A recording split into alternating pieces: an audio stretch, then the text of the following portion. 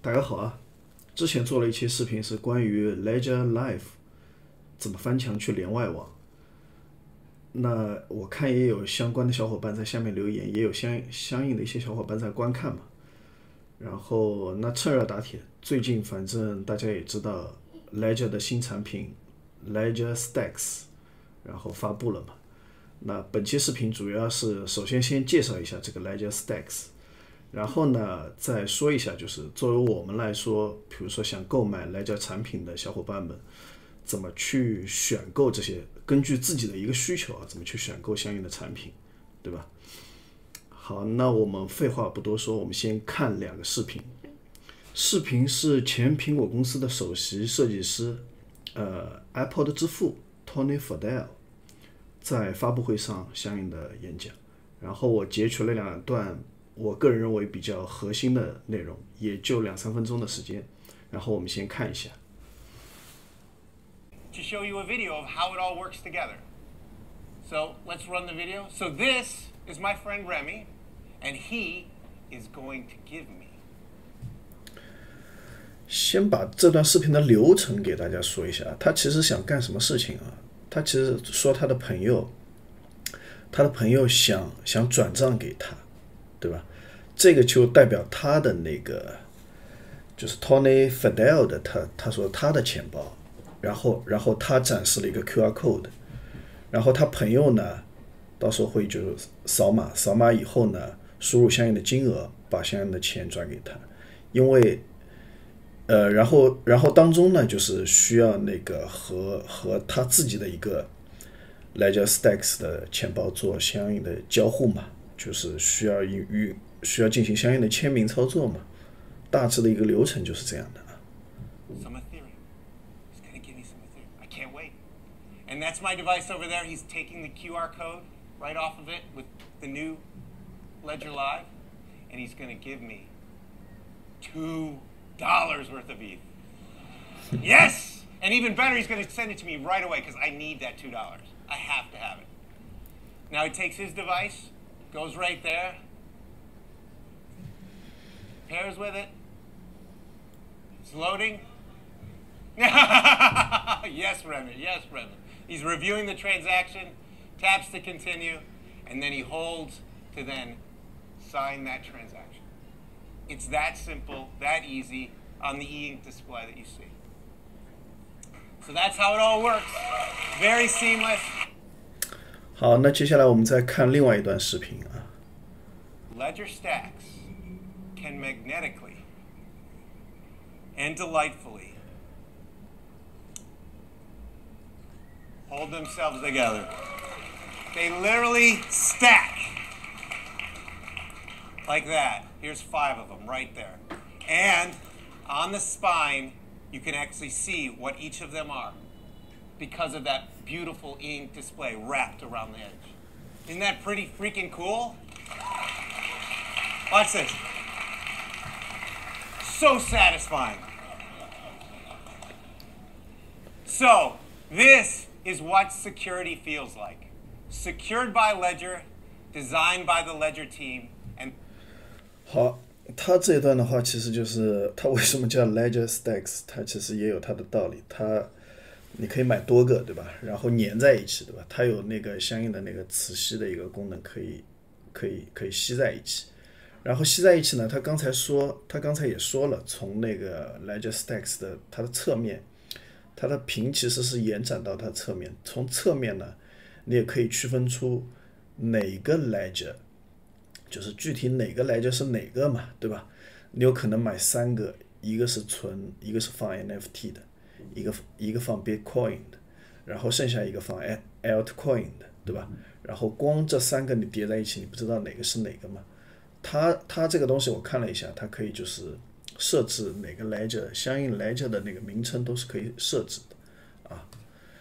然后其实这两段视频基本上就是涵盖了它。相应的核心的一些一些功能，然后，然后接下来我们再看一下它那个 Ledger 官方网站上面相应的信息吧。我也我也不用那个 OBS 去录了，我就直接这样这样录一下也可以，我觉得效果也还可以，对吧？然后，然后啊，它还有个特性就是，就是你可以把你自己的 N NFT 作为就是作为一个像像屏保一样的东西，就是你的 Ledger 打开以后，你的 Ledger Stacks 打开以后就有相应的相应的 NFT 可以显示在上面，啊，就是这样的。但由于它是水墨屏的嘛，对吧？然后那肯定是黑白的。然后最近我顺便也看到了那个推特上面已经有相应的人在研究这一块东西，就是想，就是就是他他他也想蹭个热点嘛。你你相应的 NFT 可以放在这个上面，它设计的 NFT 呢可以非常适合贴合的贴合你的那个 Ledger Stacks，啊，这个是题外话啊。好，然后再看一下，再看一下他购买，他比较恶心。他购买的话就是，他这样的一种是，一种是你直接去 pre order，对吧？你去下单，下单以后你付钱以后呢，拿到货要明年三三月份，对吧？然后其实你想想，Ledger，Ledger 在这个时候发做一个产品发布会，那正好是之前那个相应的中心化交易所，对吧？F FTX 爆雷后的那个事情。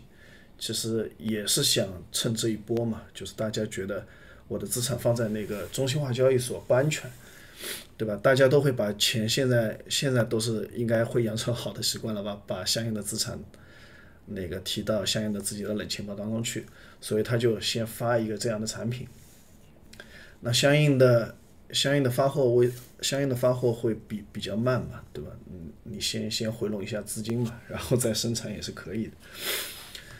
呃，然后还有一种购买方式，它是这样的，它是就是你可以去，我看了一下啊，你是可以通过 Ledger Live 当中的那个 Market，然后你去你去买它的，你去连接钱包以后去去 Mint 的 Bundle，然后就是通过那个通过以太坊吧。通过以太坊的话，你 mint 以后呢，可以得到两个 N NFT，一个 N NFT 呢，就相当于你等于是购买了那个购买了一个 Ledger Stacks 嘛，你可以，他这边也说了，可以 freedom this NFT for Ledger Stacks，然后他还会会送你一个 free，就是一个 protective case for your Ledger Stacks 一个保护套，然后。然后这个事情可以在十二月十九号开始做嘛，然后真正的就是发货的话，他也是说要在 start shipping by the end of March，对吧？二零二三年。然后这也是一种购买方式了。然后另外这种购买方式就是看上去好像更加划算一点，你你还可以得到一个 NFT，可以用这个这个 NFT 去 mint red art artwork from the Art on Ledger Stack collection。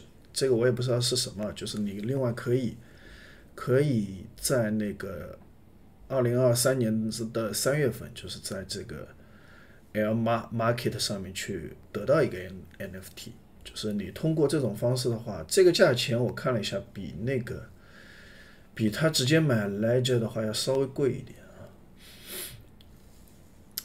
这个是你看直接买 Ledger Stacks 的话是二百七十九，对吧？这种方式的话，你目前啊，当然它是，当时当然它那个以太坊现在按照以太坊的价格来看啊，它现在是二百八十四，反正是差不多，就是他送个送个送个保护套，然后呢还可以多一个 NFT，可能这个 N NFT 到时候也可能蛮值钱啊，什么这个就说不准了啊。好，那我们再看一下，再看一下就是接下来就说一下说一下我们。我们比如说去买去买相应的产品，应该怎么去买啊？就是怎么去选？因为目前就这三种嘛，一种是 Ledger Stacks，然后 Ledger Nano X，我自己是 Ledger Nano X 啊，自己买了个 Nano X，然后还有 Lege Nano S Plus，然后 Stacks 它们之间的区别，其实我研究了一下，你看你看这一张图就基本上。它们之间的那个区别就差不多了，一个你比如说是蓝牙对吧？支持蓝牙的，它不支持，就是就是它可以，他们都可以直接通过蓝牙连那个手机嘛，对吧？它当然是直接通过那个有线的一个传输了。然后 Touch Screen，他们都不是 Touch Screen。然后支持的那个操作系统，你如果插线的话，Windows 啊、macOS 啊都是支持的，对吧？你如果用手机的话，手机的话它就是呃，安卓和 iOS 他们都是支持的，然后它只支持安卓，应该是可以连线插到那个安卓上面去啊。然后是呃，customize 啊，就是可可定制化的，他们是不可定制化的。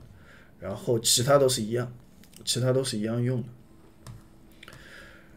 呃，然后呢，然后这边你看啊，以前是没有，我记得很早以前是没有这种 color 的选项，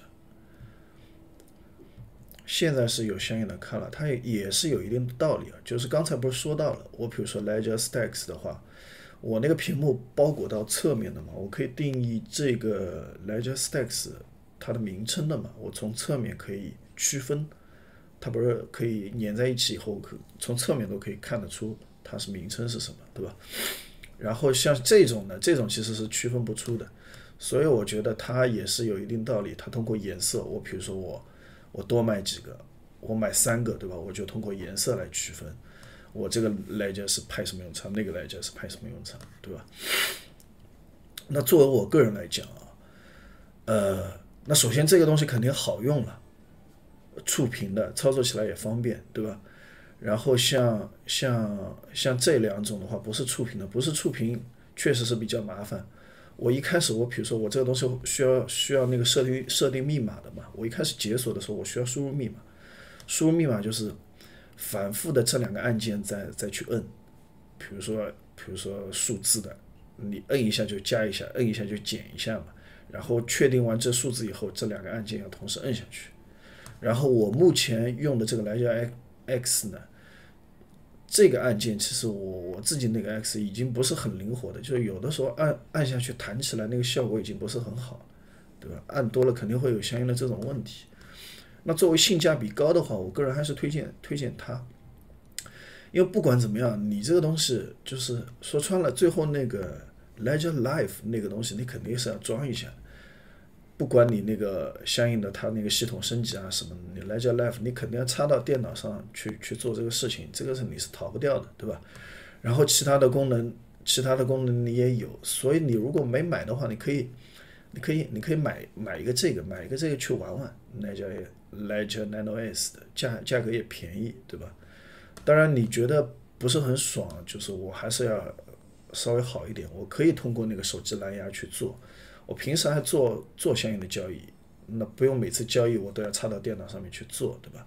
那其实这个，那从这方面说，其实其实你你如果有这样的需求，你买 Nano X 其实性价比更加高一点，就是更加适合你一点，对吧？你你如果就是囤币，我也不是经常做交易的，我到时候我买完以后，我就是往往冷钱包里面一放，那隔很长时间，那比如说像那个四年一个周期，对吧？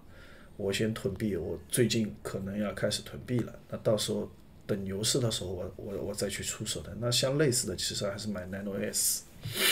那 Stacks 就不说了，Stacks 你当然是最舒服的一个，就是使用起来、操作起来肯定是最方便的，对吧？